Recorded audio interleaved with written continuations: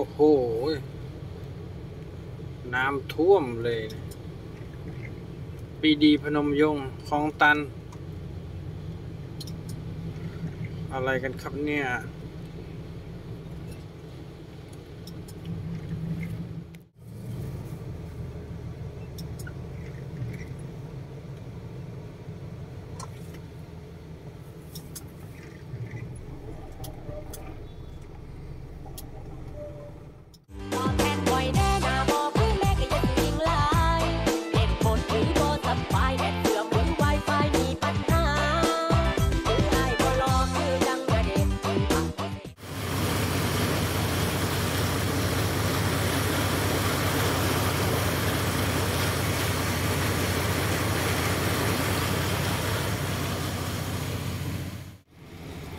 ยังไม่ลงเรือ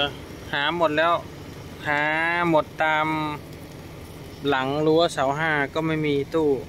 โทรไปเช็คที่ตำแหน่งเขาบอกตู้ยังไม่ลงเรือ รอหนึ่งสองสามสี่ห้าหกเจ็ดแปดย้ายแปดใบ วันนี้รถเยอะมากนะครับ 45ไร่ของเราอยู่หลังเสาห้าก็จริงนะฮะ แต่ว่าต้องมาตามรถที่ 45 ไร่นะครับ เนี่ยจอดรอทั้งนั้นนะ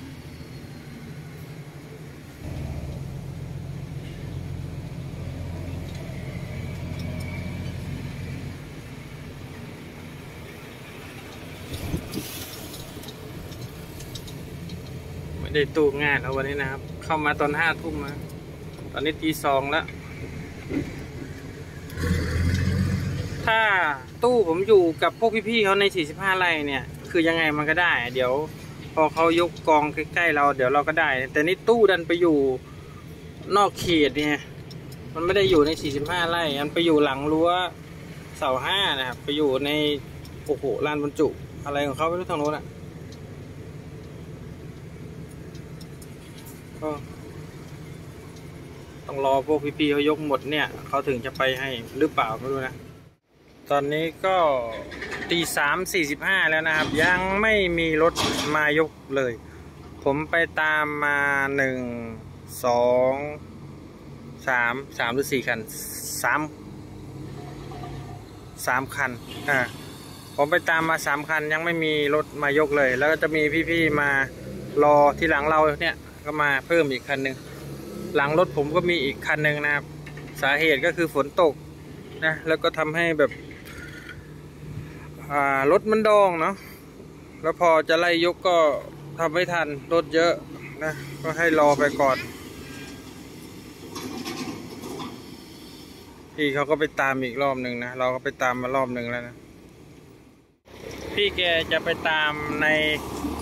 อ่าข้างในลานเสาห้านะครับจริงๆเสาห้าผมไปตามพี่แกมาแล้วรอบหนึ่งพี่แกบอกว่ามันคนละโซน ให้ไปตามที่ 45 ไร่ ผมไปตามที่ 45 ไร่เขางานเยอะมากอย่างที่เพื่อนๆเห็นที่ผมถ่ายในคลิปเนาะเยอะมากนะครับ ตอนนี้พี่แกจะขับเข้าไปตามที่เสาห้าอีกรอบหนึ่งไปตามที่ที่ผมตามนั่นแหละนะครับไปตามอีกรอบหนึ่งแล้วกันนะว่าเขาจะมายกให้ไหมย้ายให้ผมประมาณเจ็ดใบนะครับที่คันนี้มาตีสามนะของแกน่าจะไม่ได้ยกอะแกแกย้ายของผมไปทับของแกแล้ว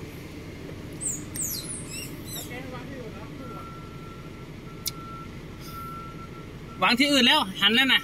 หันแล้วนะวางที่อื่นแล้ว หันไหม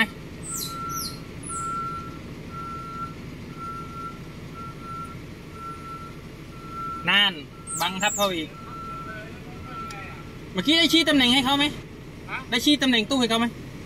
แกไม่รับเลย บอกไม่ทัน ไม่ฟังเลย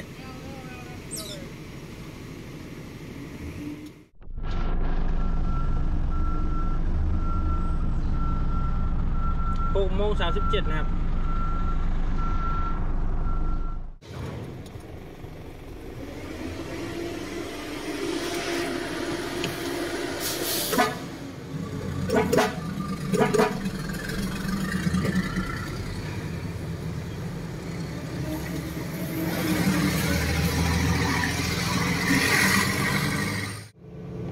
น่าจะติดเบรกนะครับ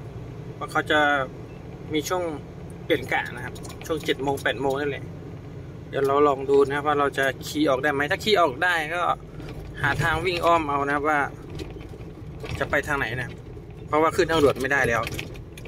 ทางด่วนขึ้นได้แค่ ก่อนหกโมงนะครับ ตอนนี้มันหกโมงกว่า ต้องหาทางผ่าเวลายังไงไปให้ให้ถึงลูกค้าได้นะเดี๋ยวตอนนี้ลองมาขี่ออกก่อน สาม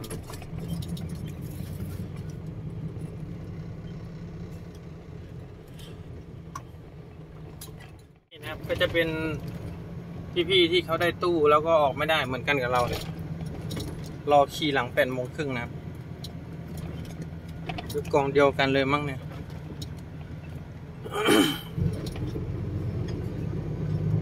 ถ้าหันหน้ามาฝั่งนี้แล้วก็คือเขาขี่ออกเสร็จแล้ว แต่ยังไม่ได้ ขี่ออกข้างนอกรอเวลานะต่อแถวรอแปดโมงครึ่งนะครับ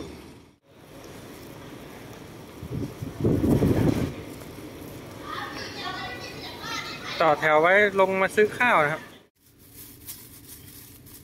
ก็เดินต่อแถวไว้แล้วก็เดินไปซื้อกาแฟ อ่า หลายคนคงคงคิดว่า อ๋อ เนี่ย เป็นเคสที่รับตู้ที่ช้าที่สุดนะครับ จริง ๆ ผมเคยมีเคสแบบเนี้ยที่ยกตัวอย่างเฉพาะคลองเตยนะ แบบรับตู้ออกเช้าเลยมีอยู่สองสามครั้ง ในรอบที่มาวิ่งตู้ประมาณสิบปีเนี่ยมีประมาณสองถึงสามสามครั้งนะ แต่ถ้าออกไม่ทันเลยอ่าจะเป็นครั้งนี้นะครับ ส่วนมากก็จะต่อแถวยาวแล้วออกไม่ทันแต่จะยกตู้ได้ก่อน แต่เคสเนี้ยยกตู้ได้แต่คีย์ออกไม่ได้นะครับ อันนี้ก็คือเราคีย์เอกสารออกไม่ได้นะระบบคีย์ข้อมูลเข้าไปเราไปได้ตู้เสร็จอะเราต้องมาคีย์ข้อมูลออกปล่อยเพื่อที่จะเอาใบอาแต่นี่คือเราไม่ทันเขาตัดระบบตอนหกโมงครึ่งนะครับ แล้วก็ทำไงอีกทีตอนแปดโมงครึ่งนะเพราะว่าเราเข้าไปถามนะครับ แล้วก็หลายคนก็จะสงสัยว่า ช้าสุดแล้วเหรอไม่ผมเคยได้ตู้บ่ายสามบ่ายสองแต่เคสนั้นนะตู้หายนะครับ ตู้ไม่ได้อยู่ตามตำแหน่งนะครับ เขาย้ายมาไว้หน้าเทคหายได้ติดต่อลูกค้าชิปปิ้งกันให้วุ่นเลย ผมรอหาตู้ทั้งคืนนะหาไม่เจอตู้ไม่ได้อยู่ตามตำแหน่งนะครับ แล้วปรากฏว่ามันล้นที่นะครับเขาก็เลยเอามาวางไว้หน้าเทคนะครับจนชิปปิ้งมาหาให้นะครับวันนั้นก็เที่ยงบ่ายกว่าจะได้ตู้ไอ้เคสนี้ยังไม่ถึงที่สุดนะเดี๋ยวกินข้าวขออนุญาตกินข้าวก่อนนะครับเอ่อสี่สิบห้าใช่ไหมเขาทอนหกสิบห้าสามสิบห้าสามสิบห้าบาทเออเขาทอนหกสิบห้าสามสิบห้าบาทนะครับสองอย่าง ดี๋ยวขี้เอกสารกันทุกคนขอขอคิวแล้วขอคิวแล้วขอขอคิวขี้เอกสารแล้ว โอเคโอเคครับ ครับผมครับผม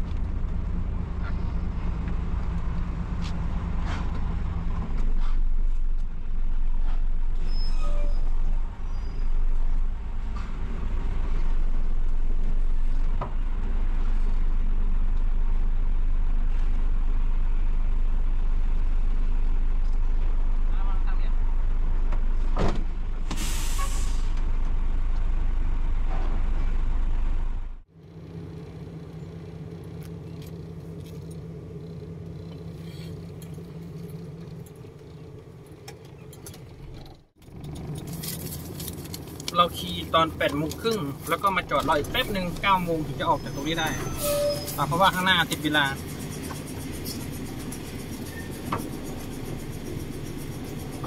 ข้างหน้าไม่ได้ติดเวลาหรอกแต่ว่าไอ้ทางด่วนอะติดเวลา เราจะออกแล้วขึ้นทางด่วนอย่าลืมเก็บใบ ER ไว้หนึ่งใบนะ ก็เก้าโมง แล้วนะครับออกจากท่าเรือแล้วนะครับ เดี๋ยวเราไปขึ้นทางด่วนรอชม EP หน้ากันแล้วกันคลิปนี้จริง ๆ ไม่ได้ตั้งใจจะถ่ายเลยนะคลิปนี้จริงๆไม่ได้ตั้งใจจะถ่ายเห็นน้ำท่วมก็เลยถ่ายเล่นๆเล่นๆมามันจังหวะเจอรับตู้ช้าก็เลยถ่ายถ่ายถ่ายถ่ายก็เลยเป็นคลิปนี้ขึ้นมา ยังไงฝากเพื่อนๆกดกำลังใจให้ด้วยขอคนละหนึ่งไลค์ก็แล้วกัน ถ้าชอบก็แชร์ให้คนอื่นรับชมด้วยนะ เพื่ออ่าเป็นเป็นเป็นเป็นเป็นอะไรวะเพื่อเป็นอ่าการศึกษาด้านสายตู้ก็แล้วกันนะครับสำหรับคลิปนี้ไม่ได้นอน บอร์เบอร้อนๆยังไงก็ต้องกราบขออภัยเจอกันคลิปต่อไป คลิปต่อไป เดี๋ยวผมจะเอากล้องติดหัว แล้วก็เดินทางไปหน้างานลำลูกกานะครับ แล้วก็พาเพื่อนๆดูการถอยนะ ถ้าไม่ผิดพลาดประการใดรับชมอีพีหน้าด้วย สวัสดีครับ